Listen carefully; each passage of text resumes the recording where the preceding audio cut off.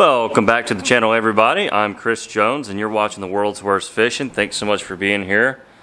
Got the six inchers laid out. We're about to run a bunch of shads and uh, right after that we'll meet you back, maybe show you a few of them and then we have some exciting new things coming from Jetson Lure Eyes ah, to our signature series collection of eyes.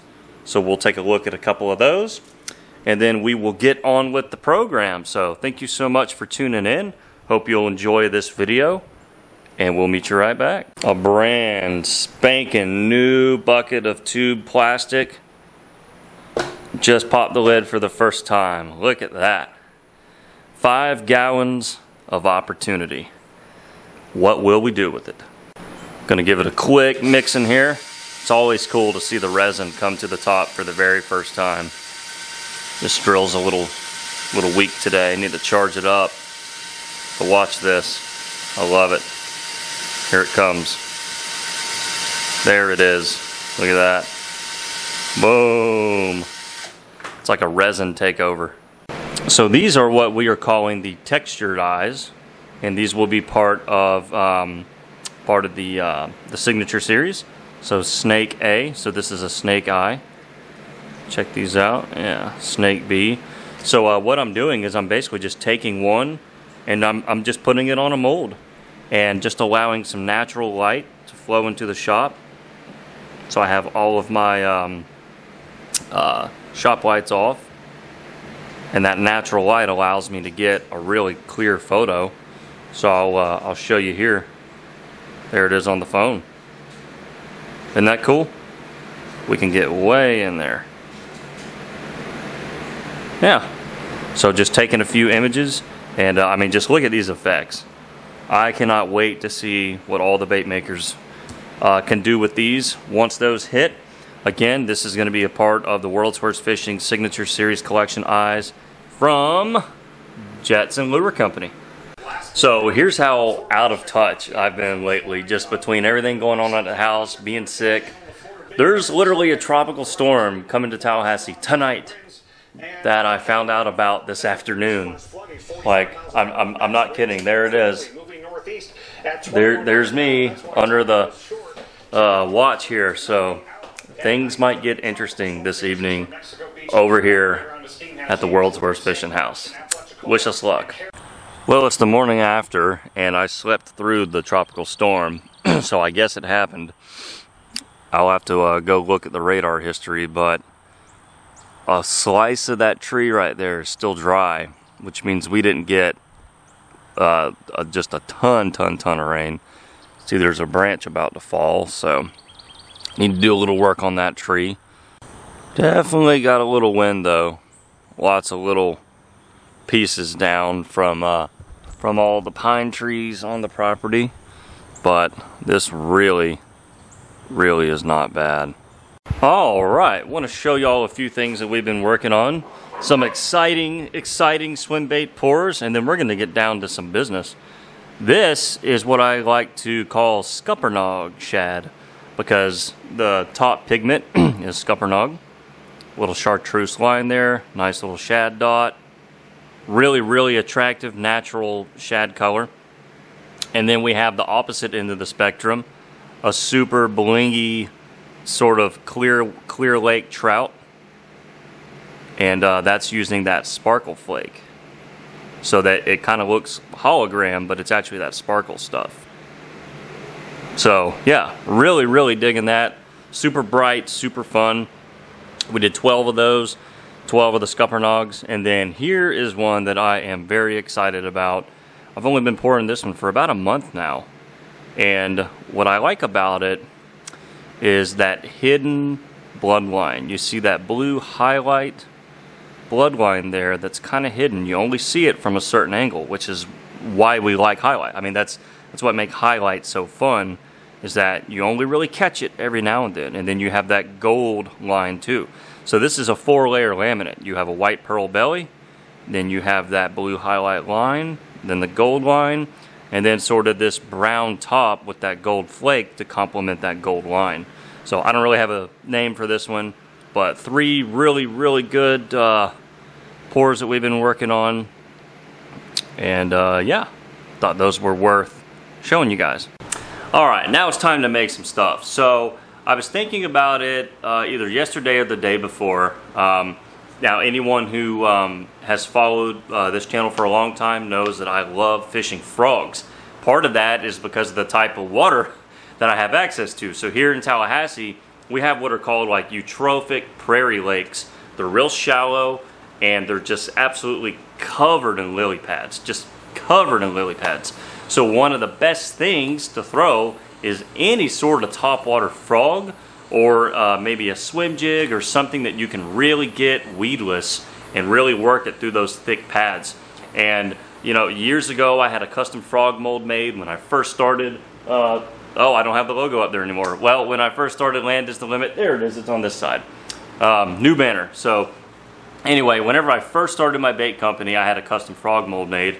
It's still my favorite frog that I've ever thrown, and uh, we're really going to test it out today. We're also going to be uh, shooting the AI Atomic Toad, but I wanted to make a really like realistic, a really good attempt at a natural bullfrog color, and what better way to do that than to use the triple injector.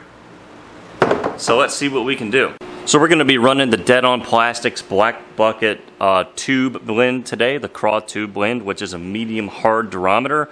Uh, I really want a frog to be made out of super firm, super tough plastic because of the type of cover that you throw it in. Uh, so anyone that wants to get into making their own plastics, if you do want to make something like a frog or a uh, swim jig trailer or something that's really going to get thrown in the slop, uh, definitely check out like a medium hard durometer for your plastic. And of course, we recommend Dead On Plastics here. All right, have the plastic cooked up, and now we're just going to start with some green pumpkin. The top color is going to be the far right. That's how the uh, molds are sort of um, uh, set up. Okay, that's the orientation. Man, I love that green pumpkin right there. But we want to darken it and brown it up with some regular brown. Okay. That'll darken it up and brown it up quite a bit. Yeah. You know, being that this is going to be a triple laminate injection color, I am going to need some pretty good saturation on these. You know, all three colors are going to need to be need to be mixed pretty thick. But yeah, sort of a sort of a nice dark chocolate basically is what I'm thinking. Let me uh, drizzle some of that out on the table just to kind of see how the saturation is. Yeah, I, I'm liking that. It just needs to be a little bit thicker. So some more green pumpkin. We'll start with that. Okay, because that'll thicken it up. And then another, another drop of black to darken it. Don't want to go go too much on it though. Then of course some black flake. I like the square cut stuff. You can barely read it. But uh, square cut glitter has... Why can I never find the spoon? Here we go. Square cut glitter, particularly the black glitter, has become like my go-to. It's my absolute favorite little texture flake. I always say that adding black flake is like putting pepper on your food. Just a little bit of seasoning for effect. Maybe just a smidge more. Okay, I actually put the spoon in the plastic. Alright, so I'm liking that. I'm liking the brown. I think we're to keep it as is. Now for the middle color, I want to start with a watermelon base. This is going to be a, a much brighter green, of course.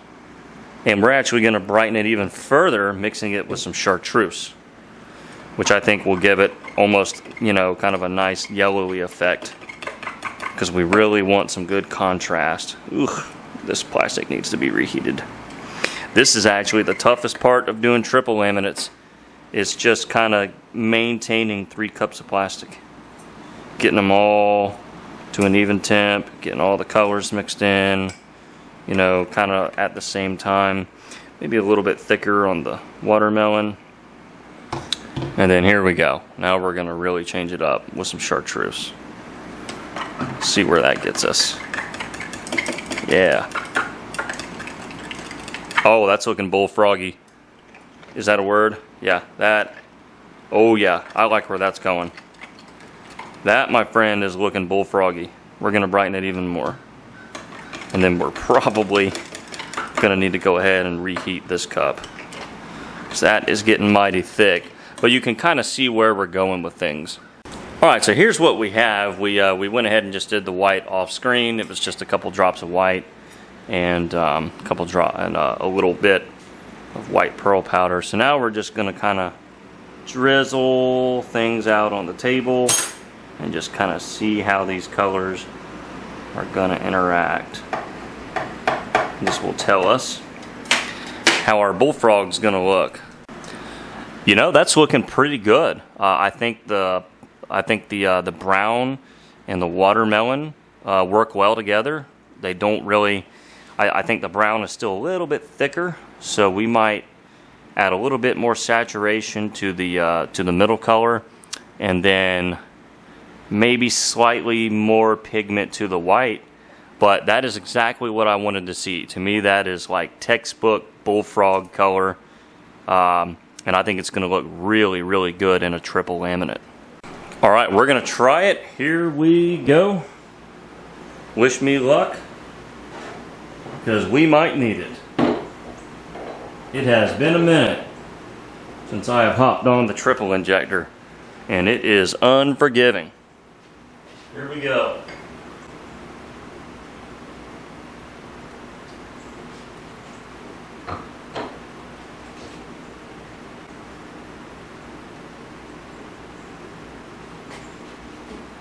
One down.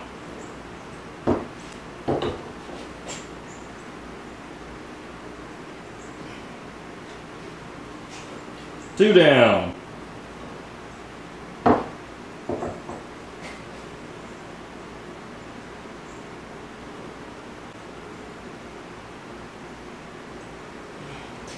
Three down.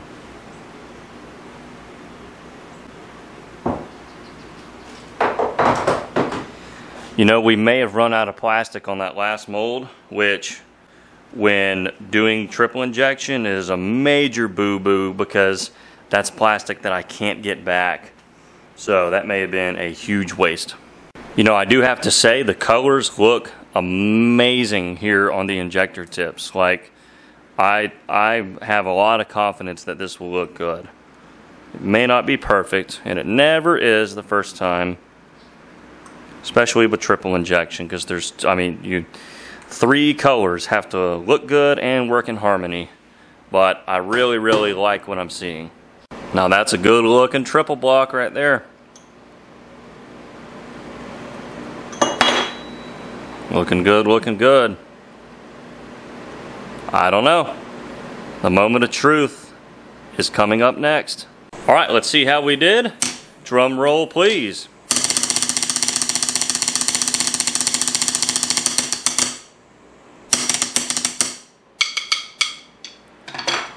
I miss playing drums. This is about all the action I ever get. Ooh. Okay, right off the bat, the browns and that green is perfect. That is absolutely everything I wanted it to be. Wow. It reminds me a lot of the Zoom bullfrog color in the horny toad if it were just those two colors. But we have the triple. Oh my God, look at those white bellies. Okay, okay. I'm excited. I'm excited. I have not, you know, made fancy frogs. We're just going to call these fancy frogs. I have not made fancy frogs, triple frogs, in a long time. Like normally, whenever I go hit the lake, I'm just throwing June bug, you know, maybe some watermelon red. Oh, ladies and gentlemen, yes, and I love how an asymmetrical bait cavity, right, does not laminate com completely perfectly. It's, it's an asymmetrical or asymmetrical, however you pronounce it. Yeah. Nothing is perfect about the way that a bait cavity shaped like a frog is going to laminate. And just to demonstrate, we did run out of plastic on the other frog mold, but here's how that one came out too. Again, not perfect, but those colors are just bled in there in such a nice way. Check it out. That's a freaking bullfrog color right there. I, I'm not going to change a thing. We're just going to try to make another run of these, try to get at least one full run. And this one came out okay, but there's a little bit of air pocket there in the nose where I just didn't have enough plastic in the mold. So if you ever get air pockets in the front of a bait, it's because the runner ran out of plastic to draw from. That's why it's always important to top off your sprue openings once you fill your molds. That right there is an absolute winner. Let's look at the other ones. I might take these fishing soon. I might take these fishing soon because I, I I get excited about frog fishing around Tallahassee. That's for sure. Oh yeah. What do y'all think? Do y'all think that's a good bullfrog? Would you throw it? What would you change? Leave me some comments down below. And, uh, and tell me what you think. I'm absolutely in love. I, I can't believe it turned out that good on the first run. All right, little wide angle view.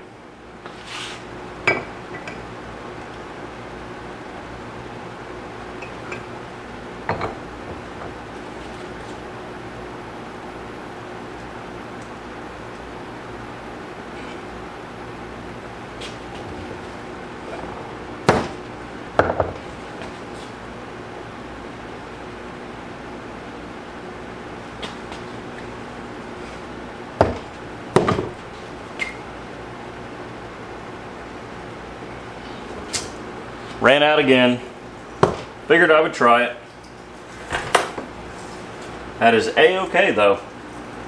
Got two full molds here. Again, it's important to top off the sprues, just like that.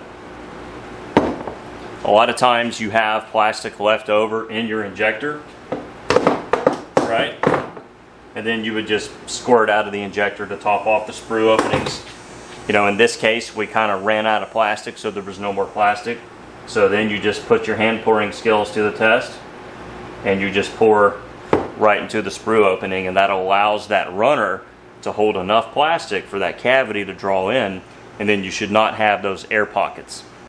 I must say y'all, I'm in love. I think anybody with a frog mold or even a creature or craw mold and hell, even a Senko mold, stickworm mold should try this if you if you have a triple injector. Um, I mean, this is so incredibly natural. Like these are real colors, you know, that, that you find in nature, uh, particularly in a bullfrog. So, yeah, I think that's a good recipe to build on. Uh, so I would love to see some of y'all at home try this. You know, a lot of people have this mold. A lot of people have, um, you know, a creature mold, um, you know, crawl molds and things like that. I think this right here is going to be a knockout in any of those molds. Any of those situations, I think this one's going to really shine. So, yeah, there, there again, that right there is the Angling AI Molds Atomic Toad. Has this little ridge right there to really put that hook point in. That way there's a lot of material there to keep things weedless. Beautiful, beautiful bait. I love the feed on it. Again, this one right here is a custom. I've been uh, I've been rolling with this one since about 2013. Now let's rig one of these beauties up just to kind of show you the final result there. So uh, this is just a wide gap weightless swim bait hook really. Um, with you know you can see the spring in the nose. To me that is uh, very very important. You can see I left a really wide nose on my mold design for this purpose right here so that it can really absorb a spring in the nose. Okay, so all the way in there. Yeah. Nice little hook slot in the bottom. Okay. So it's going to go pretty far back out the top. Skin hook it and boom. That right there is ready for action. Yes. Little triple laminate bullfrog color. That right there is a bass catching machine. Love it, love it, love it. There it is. Now, if only I could just get on the water. Yeah, not a bad spread there. That's what we were able to get. And uh, we have a little bit of plastic left over. Not really enough of each color to do a whole lot with. You know, that's kind of, I guess, one of the downfalls of, of the triple injection system is uh, you really, really are not as efficient with your plastic, I don't think. But, I mean, look at the effects. Totally worth it. The Princess Bride, one of the greatest, dumbest movies of all time. All right, that's going to wrap this up. We're back inside with the uh, AC blowing cold. Uh, you know, luckily today um, we had a little bit of fall in the air, so I think that's uh, always a good sign here in hot, sunny Florida. We welcome the cold air, at least I do. It'll be about another month before we have, you know, what I would consider cold days. But um, yeah, by, by Florida standard, anything below 80 degrees is like breath of fresh air. So anyway, I hope y'all enjoyed the video. Uh, those frogs are awesome. I will 100% be taking those uh, to Lake Iamonia with me next time I go. So uh, should I get a fish catch on those, I will definitely post up some pictures so that everyone can see. Uh, I think that's a great color. Would love to see some other people try it. Um, and then be on the lookout for those Jetson texture eyes. Uh, if you're a bait maker that makes uh, you know swim baits or hard baits or anything that needs lure eyes, those are going to take your creations to the next freaking level. I mean, they are just like when you see them in person. So be on the lookout for those. Uh, appreciate y'all being here today. Everybody stay safe out there, and uh, we will see you in the next video. Ending this video right.